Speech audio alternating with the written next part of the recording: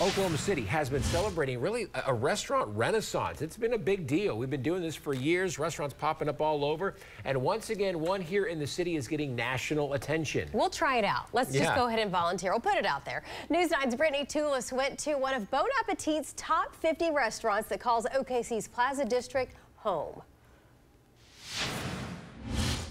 Ma Der is just weeks away from its first birthday.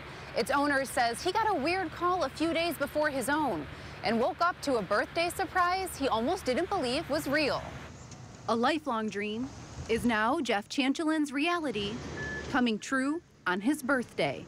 Honestly, I was kind of shocked and I didn't know if, you know, I was like, am I dreaming? Is this real? A new Laotian restaurant on the corner of 16th and Blackwelder is now on the map, landing a spot on one of the most coveted culinary lists. Well, Bon Appetit is one of the largest, you know, food publications out there, and they're known for, you know, the 50 best restaurants list. You know, you only get one shot to do that because, you know, the next year is another restaurant.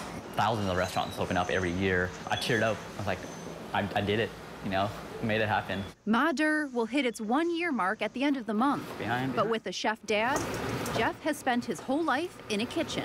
I would run to the grocery store for my dad because it was just like across the street, uh, scrub potatoes, bus tables, wash dishes, you know, did everything.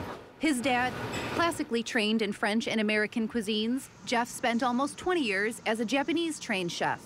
After touring the world from the kitchen, Jeff wanted to bring things back home to mom's cooking. Just being able to do this for the community because it's so small, it, I didn't want it to get lost, the food or the culture. Jeff doesn't know when Bon Appetit came in to eat, but they raved about what they ate. One thing any foodie should know, before you can Bon Appetit, you have to Ma Der. Whenever, you know, we invite you to the table or whenever we're at the table eating, it's actually. It's like, come through, come eat. Brittany Toulis, Oklahoma's own, News 9.